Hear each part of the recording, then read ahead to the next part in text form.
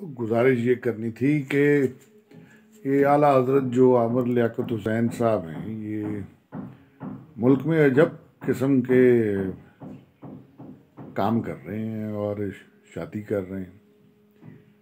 गुजारिश ये है कि ये जो इस तरह की शादियाँ हैं कि 18 साल की लड़की को आप फांस रहे हैं और उससे शादी कर रहे हैं, आपकी उम्र पचास पचपन है।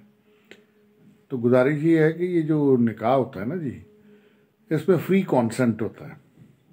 तो 18 और 55 साल के जो दो लोग आपस में निकाह कर रहे हैं, ये क्या चीज़ है जो इनको एक दूसरे के करीब ला रही है और निकाह हो रहा है?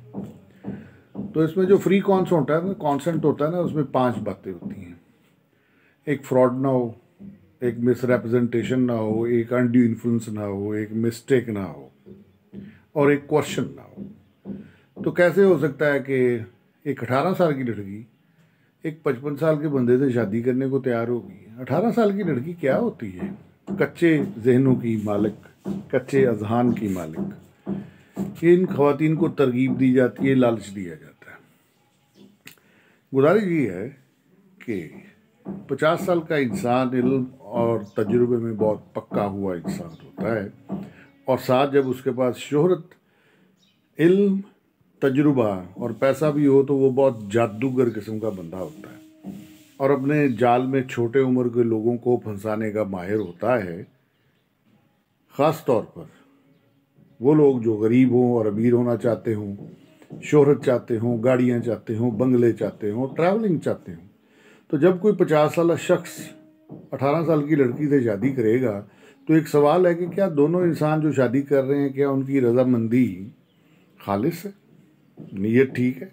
कोई लालच तो नहीं है कि दोनों क्योंकि दोनों लोग जो हैं, वो बराबर काबिलियत, बराबर तजुर्बा, बराबर इलम और ज़िंदगी के नशेबो स्वराज से वाकिफ़ नहीं है। तो माय डियर फ्रेंड्स के आली जनाब जो सर आमर लियाकत हैं, अठारह साल की लड़कियों को फंसाते हैं। उनको चाहिए कि वो ज़रा अपने से बड़ी उम्र की लड़कियों से शादी करें, ताकि उनको पता चले कैसे बड़ी उम्र की औरत उनसे मामला करती है और उनकी तबीयत मुबारक को साफ़ करती है। और इनके साथ निकाह का माहा करती है। आमर लियाकत चूज़े खाने का आदि है। ज़रा बड़ी खारों वाली मुर्गियों से मामला करें तो हमें जाने। उनको ज़रा शादियों को फ़रोग देना है तो बेवा और बड़ी उम्र की औरतों से शादियों का मामला करें और उनको फ़रोग दें। छोटी उम्र